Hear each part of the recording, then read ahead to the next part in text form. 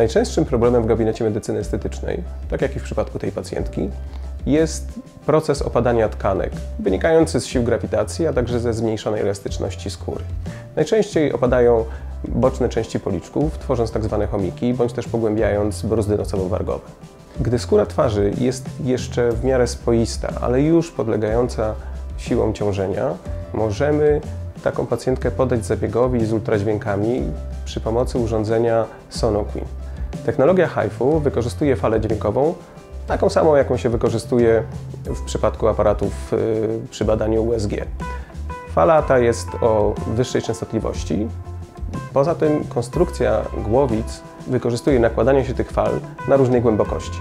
Przez nałożenie się fal powodujemy przegrzanie tkanki na różnych y, głębokościach. Takie przegrzanie jest dużym impulsem do przebudowy skóry i aparatu mięśniowo-więzadłowego.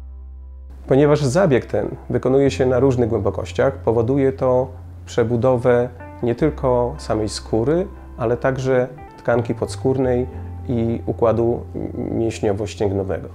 Zewnętrzny rezultat to w przypadku twarzy lifting 3D, zagęszczenie skóry, poprawienie owalu, podniesienie policzków i podniesienie brwi.